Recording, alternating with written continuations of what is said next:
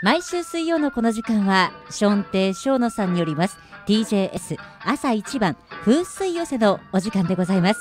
今日もどんなお話が聞けるんでしょうか？お楽しみに。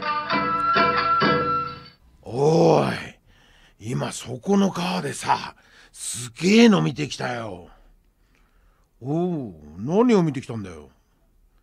いや驚いたよ。いるんだね世の中には。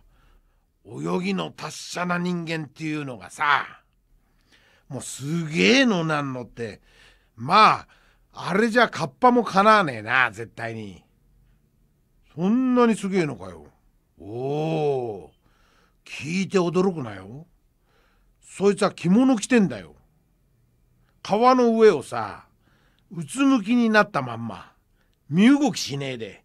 20メーターツーッと行くってえとそのまんま息もつかねえで沖の方へと出てったんだよ。その先は見ねえできたがいやー手したもんだった。そりゃあ土左衛門じゃねえのか？いやー名前は聞かなかったからわからねえや。僕土左衛門。22世紀からやってきた水死体。いやいや。僕ドラえもん。22世紀からやってきた猫型ロボット。ポケットのどこでもドアがあればどこへでも僕がいた未来にでも行けるんだよ。というわけで皆さん小倉佳代子先生の未来巡行受けられましたでしょうか？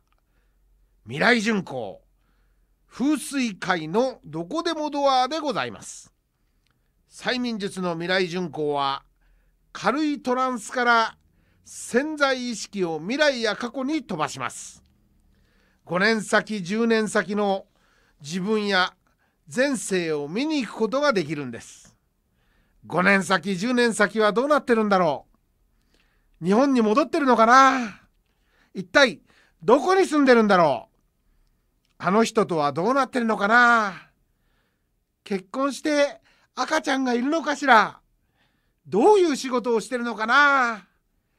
すべてご自分の潜在意識から出るものですから放っておけばそうなる可能性も高いんでしょう。市中水明とは全く違った未来予測の方法なんですね。小倉佳代子先生の未来巡行感動の涙が止まらない方も。お問い合わせはアーテージアスクエアの開運やドラゴンゴットまで。電話番号310-787-1891サイレンなっぱな一泊位でございます。